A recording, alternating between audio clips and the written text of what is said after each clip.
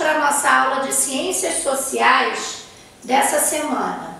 É, nós vamos, estamos falando já, né, já algumas semanas sobre as festas e tradições. Então vamos pegar o livro na página 175, que a tia Mônica vai ler para vocês o que diz nessa página. Ela está falando sobre uma festa que tem muito dessa época do ano. Qual é? Quem adivinha? Isso mesmo, a festa junina, que é uma festa muito animada, é uma festa muito tradicional no nosso país. Eu vou ler para vocês. Festas e tradições. As tradicionais festas juninas do Brasil são um exemplo de diversidade cultural. De origem europeia e trazidas para o Brasil pelos portugueses, as festas juninas são uma amostra da nossa riqueza cultural. Elas podem ser encontradas em todas as regiões brasileiras, homenageando os vários santos da Igreja Católica e com muita comida e bebida típica de cada região, como o milho no Nordeste e a mandioca no Norte. Você já participou de uma festa junina? Conte-nos como foi, qual era a música, qual era a música que tocava, o que, que tinha para comer, como as pessoas se vestiam.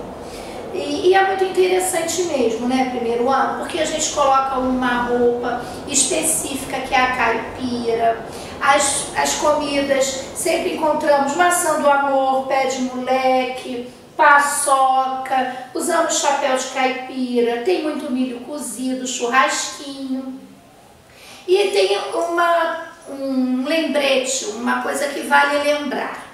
Antigamente, toda festa junina se falava muito dos santos, que são da Igreja Católica, mas nem todas as pessoas são da Igreja Católica.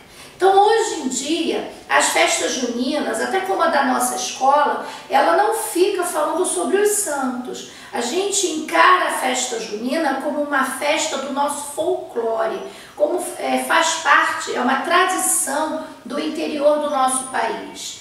Então, é uma festa que todo mundo pode participar.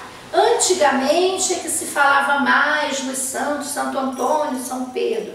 Mas hoje em dia é uma festa para todos participarem, né? E é muito animada, não é verdade? Na página 176 está pedindo para desenhar um acontecimento festivo tradicional da sua cidade.